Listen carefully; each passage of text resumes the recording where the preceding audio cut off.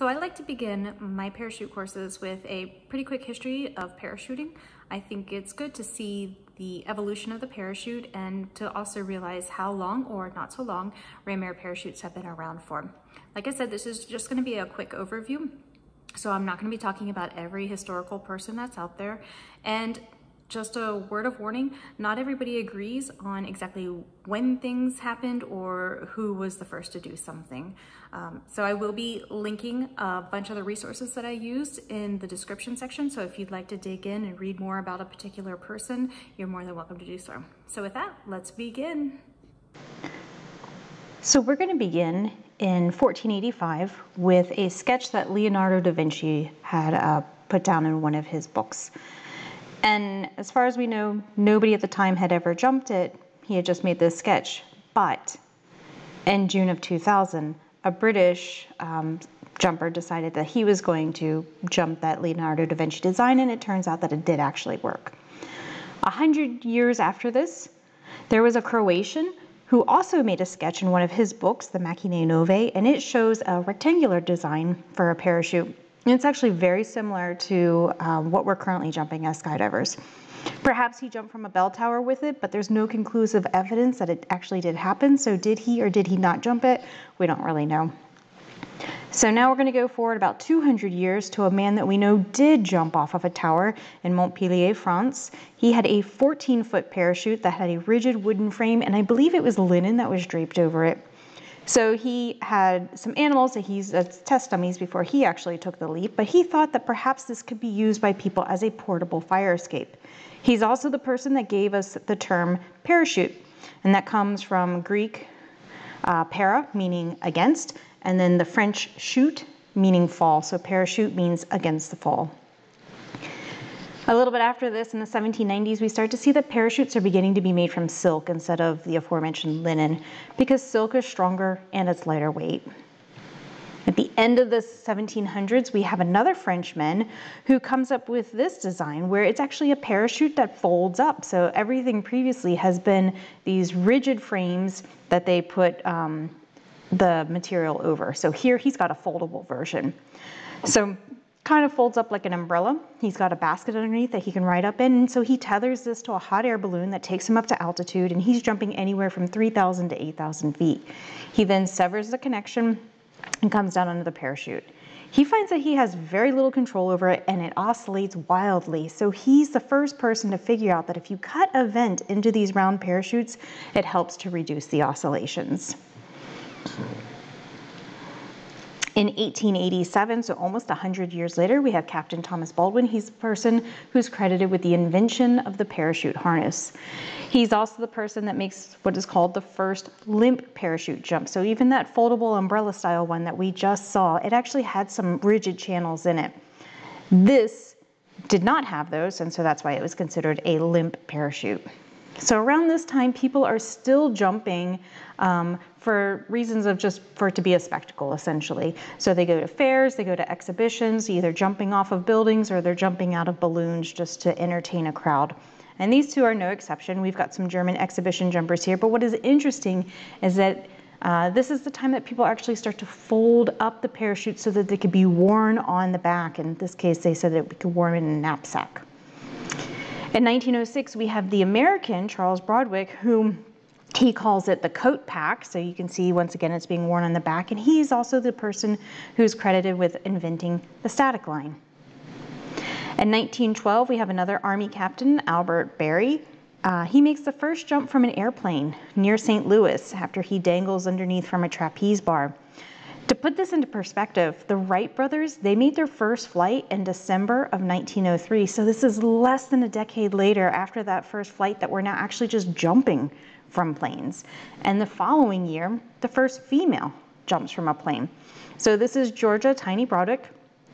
Um, she actually, at around the age of 15, went to one of the exhibitions put on by Charles Broadwick and was just fascinated by parachutes, apparently, and convinces him to let her get in onto jumping them.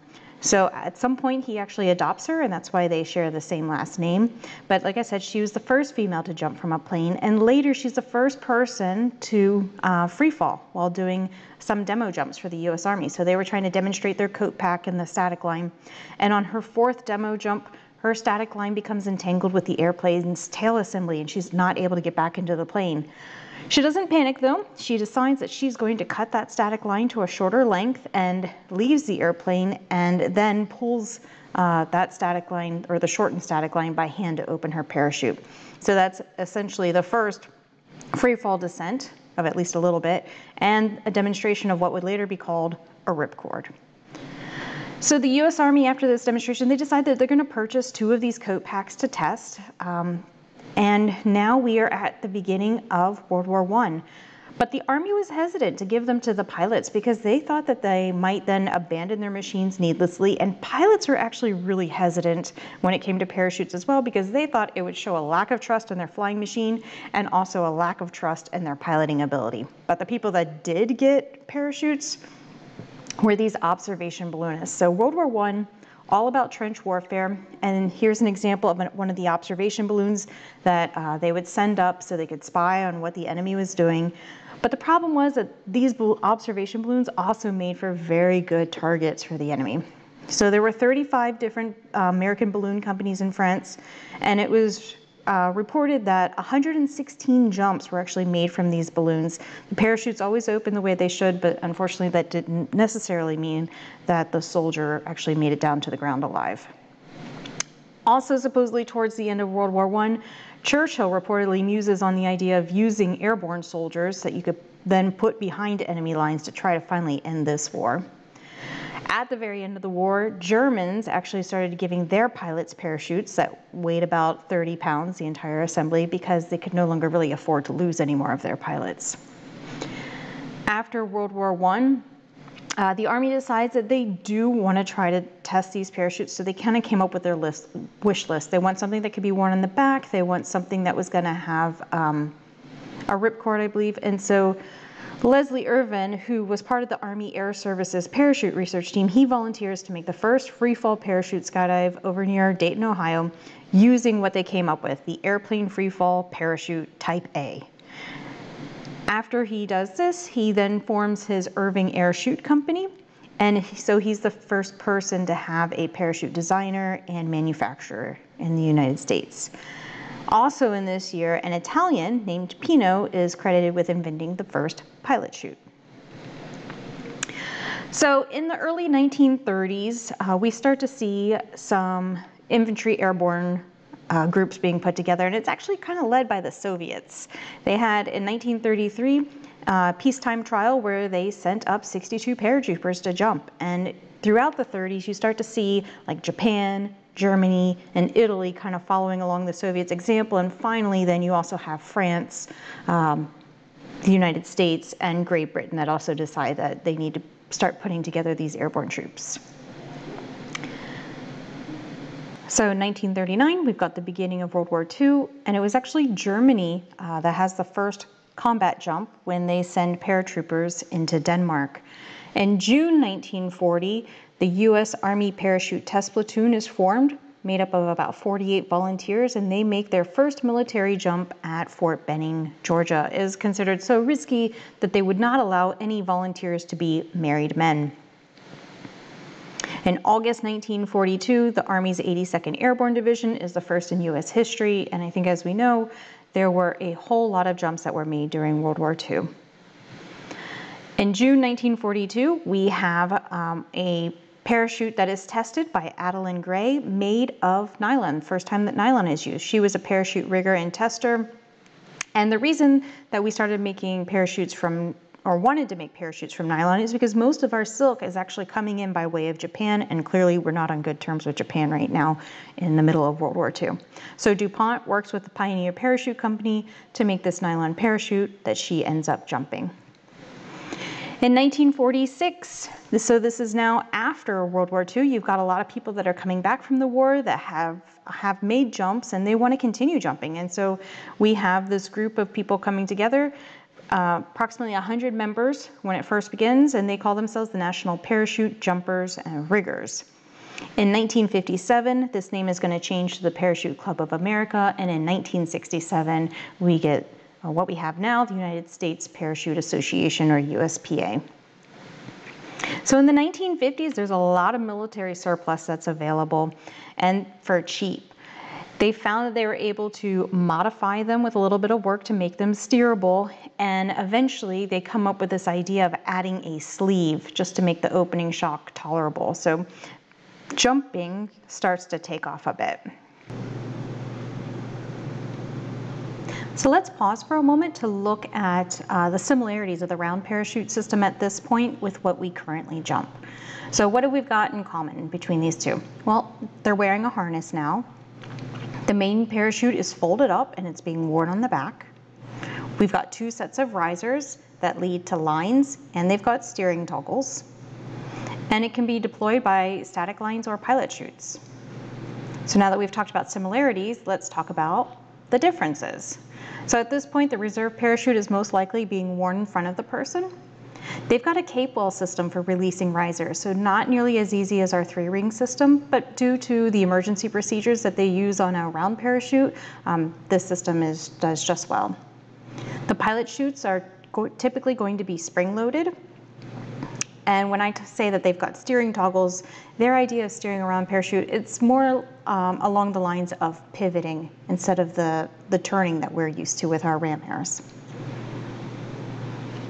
In the 1960s, we have Stephen Perry. He begins work on his Stevens cutaway system that's later going to be called the RSL. And the Para Commander, as you can see here being advertised, is considered the high performance parachute of the day. Had a large glide ratio and pretty soft landing. So in the 60s, Para Commander dominated.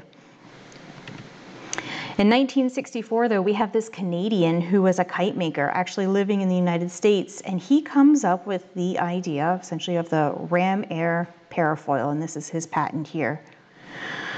So what does it mean for something to be ram air? If you look at figure two, it's looking at the side, the profile of the parafoil that he designed, and you can see that he used what we call a top skin and a bottom skin. So two pieces of fabric that meet together, they're, they're sewn together in the back, but in the front, we've got the inlets that allows air to be pushed into the parachute to inflate it while it's flying.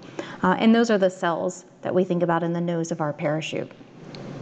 So once we get into the 70s, quite a few things start to happen, right? So we have uh, this guy, Greg, who invents the square slider because one of the things that they found when they jumped that parafoil that the Canadian came up with is that the openings were super hard. So he comes up with the square slider, helps to slow down the openings so that they're also tolerable. In 1974, Bill Booth gives us the throw-out pilot chute. In 1976, he also gives us the three rings. In 1979, we see the introduction of F111 fabric that is coming to the market. And in 1980s, both Ted Strong and Bill Booth were working on trying to make tandem skydiving a thing. In the 1990s, canopy, canopy piloting appears as a sport. In 1991, we have Cypres appears on the scene. This is the first electronic AAD. Before that, they had been um, mechanical. And I'm going to finish up with just saying that in 2006, the first World Championships in canopy piloting takes place. So you can see that a whole lot happened from the 70s and on once we started having the Ram Air parachutes.